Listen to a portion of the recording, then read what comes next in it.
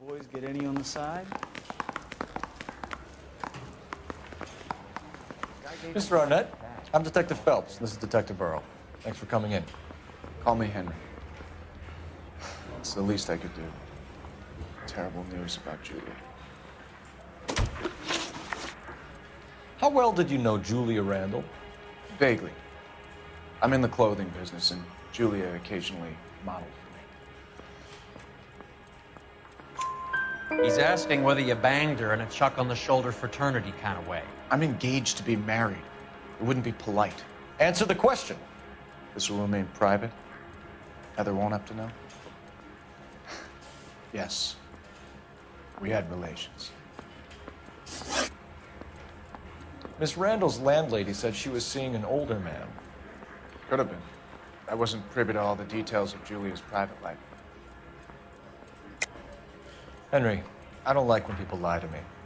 She was seeing a man named Henderson. You know who I'm talking about. Easy on, detective. I may have heard of Henderson, but I don't know his full name. I think he's from New York or someplace back east.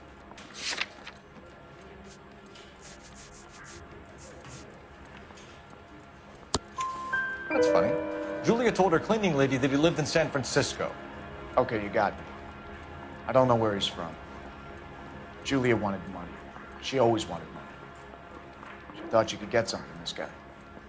She was wearing a distinctive engagement ring. You think she might have convinced him to buy it for her? Maybe he did, yeah. Maybe he and Julia were getting serious.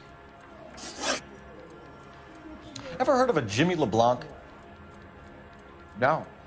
Should I have? Is, is he an entertainer or something? So you wouldn't have any reason to believe that LeBlanc would be involved in Julie Randall's murder? If this guy is a criminal, he, he might have been involved. But like I said, I've never heard of this LeBlanc character. Heather told us that you were in fashion. That's right. Right through the red light that you never saw. Some kind of traveling salesman?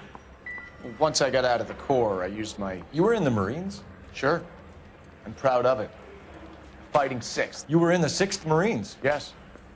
I was a captain. Which company? Uh, various companies. We had a lot of casualties. Which engagements? Okinawa, a couple of other places. That will be all for now, Henry. You've been very helpful.